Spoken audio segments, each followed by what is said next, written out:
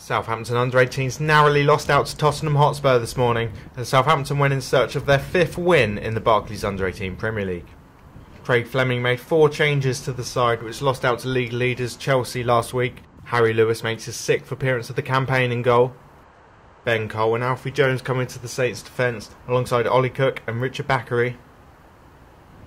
Wilkin and O'Connor are joined in the middle of the park by last week's stoppage time goalscorer Joe Lee. And up front, Yan Valery is given an attacking role on the right wing alongside Tyreke Johnson and captain Olufela Olomola. It was Southampton who took an early lead with barely 10 minutes on the clock.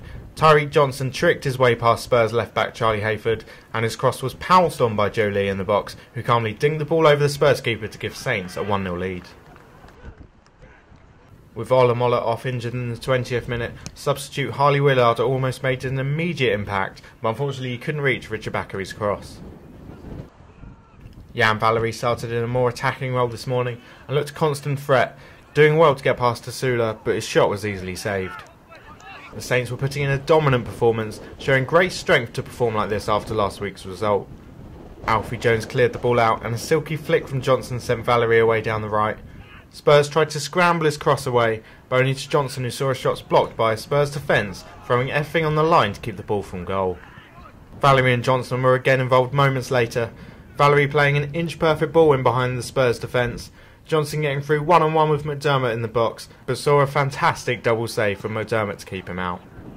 With seven minutes left in the first half, Southampton were looking clear favourites.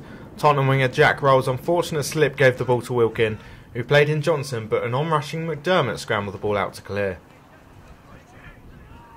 That was perhaps the turning point that Spurs needed, and Tottenham soon started to turn up the tempo.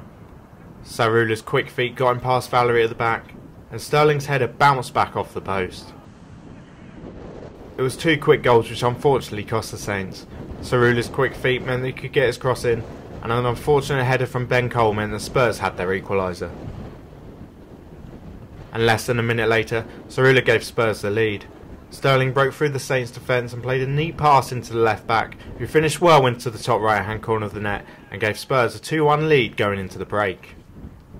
The second half was one of much fewer chances. Roles' cross found Sterling, whose header was saved by diving Harry Lewis. Saints came closest to an equaliser on the hour mark. Stuart Wilkins' corner was met by a rising Ollie Cook, but Spurs managed to keep his header out and their lead intact. Spurs kept their composure and nearly added a third.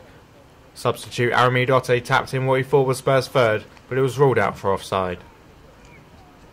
Spurs' final chance came with a few minutes left. Charlie Owens battled well in midfield, setting up Ote, but Lewis was equal to it. Full time, Spurs 2, Saints 1.